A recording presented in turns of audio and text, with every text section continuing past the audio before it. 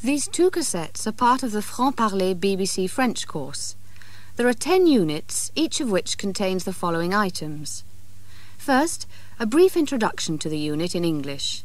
Then, four or five conversations and interviews recorded in France with introductions in French. And lastly, a section with a pronunciation exercise, a role-playing exercise in which you take part in a conversation, and a listening exercise. All the answers are given on the tape, so the cassette is self-contained. But if you want to see a written version of the conversations and the role-play exercises, you'll find them in the Franc-Parler book. Franc-Parler, Unit 1. Vacances.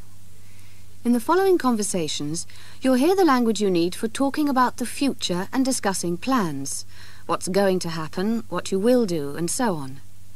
And the three ways of talking about the future in French are to use the present tense, the future, or the verb aller, followed by an infinitive.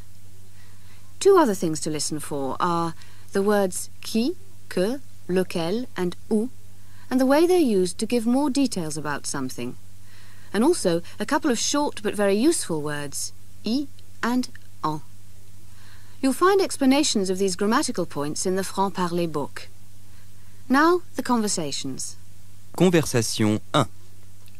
La petite ville provençale de Gréoux-les-Bains est avant tout une station thermale. Elle est située au bord d'une rivière, le Verdon. Et l'été, des gens de toutes les régions viennent y passer leurs vacances. Un peu en dehors de Gréoux se trouve un village de vacances. C'est là que Daniel Pajon a fait la connaissance de Madame Poulain, qui est institutrice et qui habite Poitiers pendant l'année scolaire. Alors, il, y a, il y a plein d'activités euh, dans le village de vacances, mais il y a aussi beaucoup de choses à faire dans la région. Là, qu'est-ce que, qu'est-ce que vous allez faire? Eh bien, dans le village de vacances, je me suis inscrite pour ce soir au tennis. Et puis demain, je pense que nous allons faire du tir à l'arc. Ah, très bien. Vous en avez déjà fait? Non, jamais. Alors, euh, on va essayer, pourquoi pas. Est-ce que vous irez, par exemple, euh, visiter les gorges du Verdon, là, dans, dans les semaines à venir? Je pense que nous y retournerons. Nous y sommes déjà allés et nous irons certainement encore une fois. Autrement, comme activité, nous irons sans doute à la piscine. Euh, tous les jours sont faits de, de- de la même chose, c'est sûr. Quand on fait une cure thermale, euh, le lendemain est toujours semblable à la veille. Mais par exemple, il y a un lac qui est pas très loin. Vous envisagez d'y aller? Le lac d'Esparon, peut-être. Est-ce que vous allez essayer la planche à voile? Ah non, Non, ça vous Non. tente pas du tout? Non, non, pas du tout. peut-être mon mari en fera, mais moi non. Et vos enfants? Ils sont peut-être un peu petits encore. Ils Elles sont trop petites, oui, trop elles ont petits 10 ans et 5 ans. C'est trop petit-. Un peu petit, oui. Et euh, dans, dans votre région, euh, qu'est-ce que qu'est-ce que vous faites euh, lorsque vous rentrez là pendant le reste de, de l'été, des vacances? Euh, je ne sais pas, Vous n'avez encore rien pas de prévu? projet Pas encore. de projet encore. Non. Vous allez partir à la découverte peut-être? Peut-être. Je pense aller quelques jours sur la côte atlantique. J'ai des amis que je rejoindrai là-bas. Et puis non, j'ai des travaux à faire dans ma maison. Et quand est-ce que vous allez euh, reprendre le travail là, puisque vous êtes en cure pendant trois semaines, puis après vous allez encore partir en vacances ou être en vacances Euh, Quand allez-vous reprendre le travail? Je reprends le travail euh, au début septembre. Je suis institutrice en maternelle. Et les cours reprendront euh, le, je sais plus, le, le 8 ou le 9 septembre. On connaît bien la date de sortie, mais jamais la date de rentrée. Alors, bonnes vacances. Merci. Conversation 2. En été, lorsque les vacanciers et les touristes envahissent la Provence, les Provençaux, eux, quittent la région pour aller prendre leurs vacances ailleurs. On les comprend. Voici donc les projets de la famille Cambon, qui se prépare à partir dans son vieux camping-car, son fourgon camping. Bon alors, les vacances cette année, ça s'annonce comment? Nous allons partir euh, sans doute dans le courant de la semaine, Maurice. Oui, euh, nous partons le 19, c'est-à-dire jeudi soir. Il nous faudra deux jours pour rejoindre le sud de l'Espagne, donc, euh, et il nous faudra impérativement être là le 31. Il y aura quatre jours de trajet, deux pour aller, deux pour revenir. Il ne nous restera plus grand-chose. Et euh, vous allez euh, dans quel coin du sud de l'Espagne? Nous allons visiter trois villes, Cordoue, Grenade et, et Séville. Et en plus, vous voyagez euh, avec un fourgon euh, dans lequel vous pouvez dormir. C'est Voilà. pas mal ça. Alors nous avons un fourgon camping euh, où nous rentrons péniblement à quatre, mais nous y arrivons tout de même. Euh, ce fourgon, nous l'avons depuis plusieurs années. Malheureusement, il ne fonctionne pas assez souvent. Euh, il est prêt certainement grâce au garagiste. Mais vous avez mis tout, votre équipement dedans, les sacs de couchage, les casseroles, tout ça Alors c'est ça, il y a une partie cuisine, comme dans tout fourgon camping, avec casserole, poêle, etc. Il y a la partie literie, où nous pouvons loger à quatre, justement. Et ensuite, toute la partie penderie, où nous pouvons loger nos vêtements. Est-ce que c'est un fourgon grand luxe euh, avec euh, douche, euh, WC ou comment est-ce que ça non, se passe? Non, parce que nous utilisons les terrains de camping et nous préférons aller nous baigner soit au bord de la mer, soit dans les piscines. Alors, euh, notre fourgon nous permet surtout de, de ne pas avoir de soucis de réservation d'hôtel, de nous arrêter lorsque nous en avons envie et de, de faire un voyage euh, beaucoup plus fantaisiste. Conversation 3.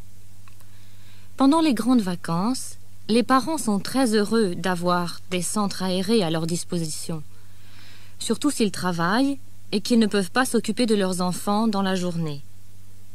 C'est le cas de Danielle Varny, par exemple. Elle conduit souvent Anaïs, sa petite fille, au centre aéré de Bois-Guillaume, à Rouen. C'est un centre qui accueille environ 150 enfants et Danielle a profité d'une de ses visites pour parler avec la directrice du centre. Quelles activités vous proposez aux, aux enfants? Donc, euh, chacun choisit la façon dont il veut faire fonctionner son centre. Ici, moi, l'option que j'ai choisie déjà depuis pas mal d'années, c'est les sorties. Parce que je considère qu'on s'adresse à un public euh, d'enfants qui sont euh, enfermés, entre guillemets, toute l'année, dans des écoles, non à la maison, et qui n'ont pas toujours l'occasion d'aller voir ailleurs ce qui se passe, d'aller se promener un petit peu.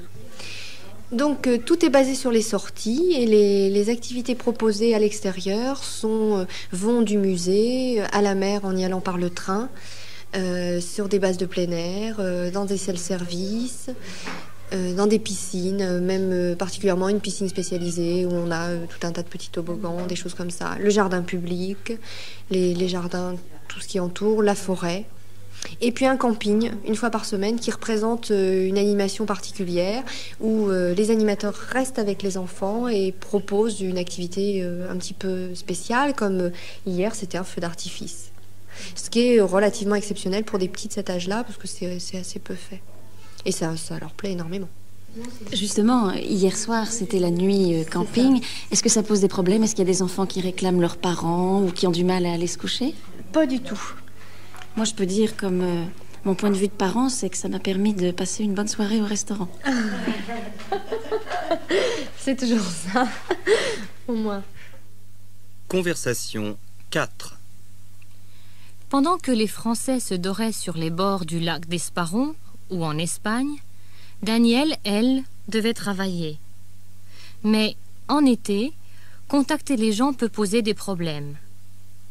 C'est ce que vous allez constater dans la conversation qui suit. Danielle est au téléphone et elle essaie de prendre rendez-vous avec le directeur d'un supermarché. De temps en temps, elle s'adresse à Mick Webb, le réalisateur de Franc-Parler, pour lui expliquer ce qui se passe à l'autre bout du fil.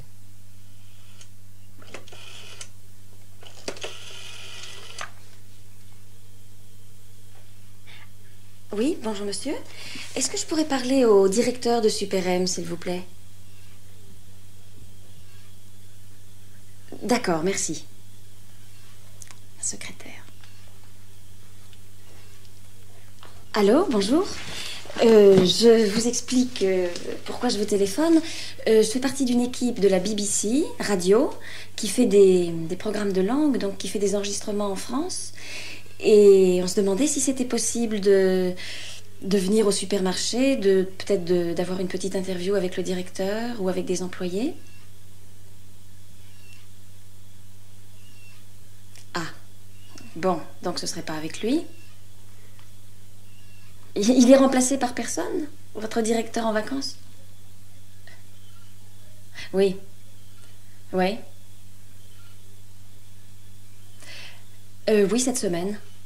On pensait jeudi ou vendredi. Oui. Oui. D'accord, d'accord. Très bien, tout à fait. Oui, alors euh, je m'appelle Madame Warny, W-A-R-G-N-Y.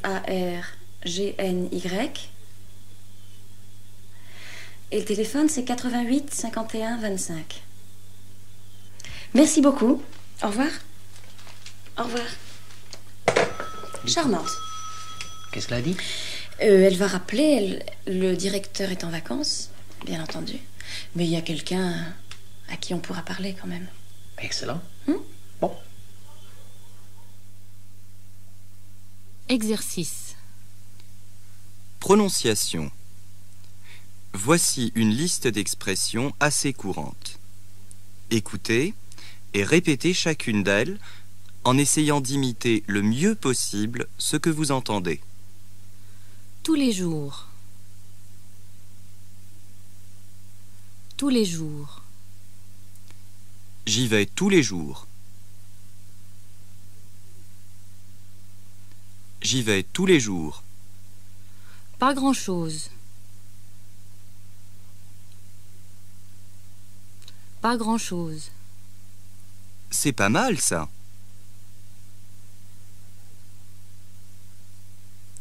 C'est pas mal ça. Oui, ça me plaît. Oui, ça me plaît. On y retournera. On y retournera. J'irai peut-être à Marseille demain.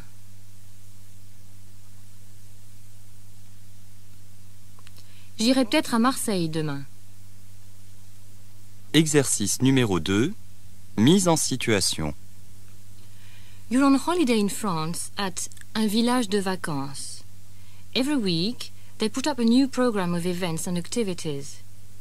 You're looking at the latest program, which includes Boomerang for Beginners, Initiation au boomerang, a night ramble, une balade nocturne, and an all-day walk as well, une randonnée pédestre de toute la journée. You're discussing these activities with a French holiday maker.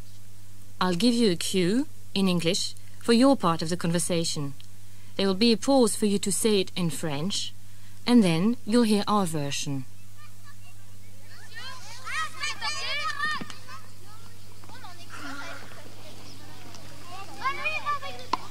Vous avez vu le programme Il est bien, non?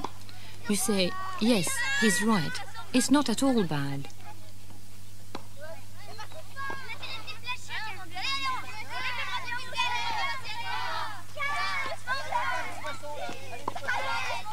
Oui, vous avez raison. Il est pas mal du tout. In fact, you think you're going to do the boomerang for beginners.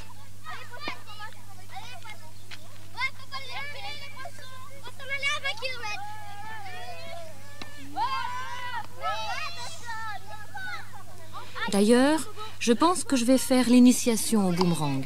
Ah, le boomerang C'est intéressant ça. Vous en avez déjà fait? No, but you're going to try.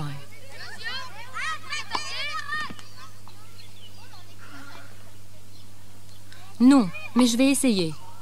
Moi, j'en ai fait en Australie, il y a quelques années. Vous verrez, c'est très amusant. Et à part ça, vous avez d'autres projets? Say, the night ramble looks fun.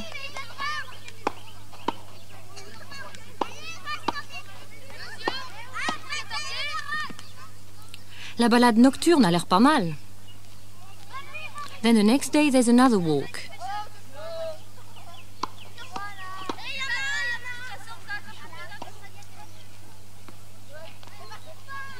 Et puis demain, il y a une autre randonnée.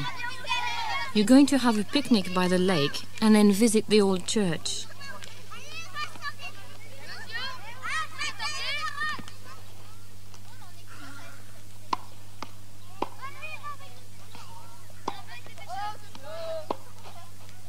On va pique-niquer au bord du lac et puis visiter la vieille église.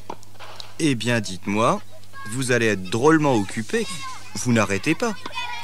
Explain that you like to do a lot of things when you're on holiday.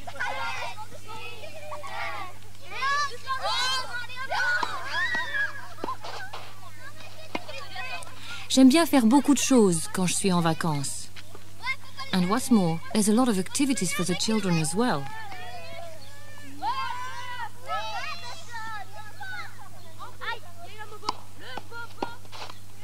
Et en plus, il y a pas mal d'activités pour les enfants aussi. Oui, c'est justement pour ça que je viens ici.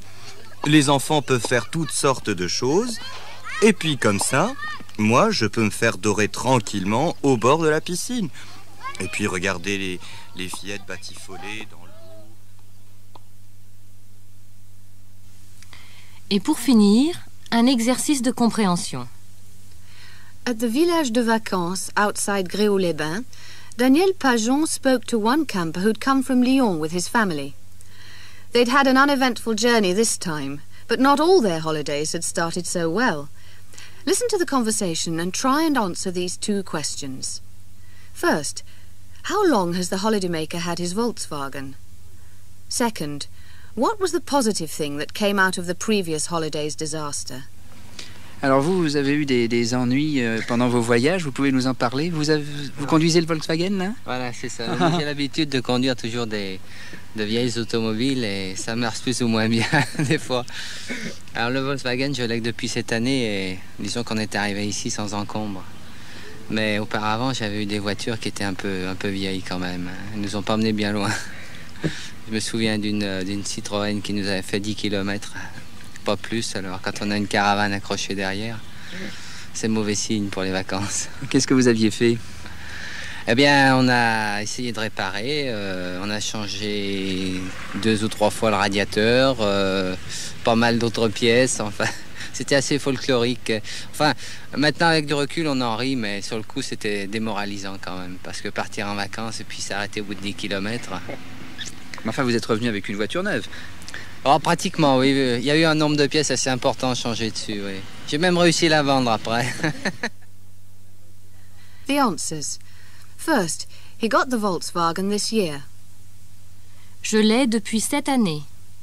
And the good thing about the earlier disaster was that he had to change so many parts of the car that he ended up with a virtually new one and even managed to sell it afterwards. Il y a eu un nombre de pièces assez important changées dessus. J'ai même réussi à la vendre après.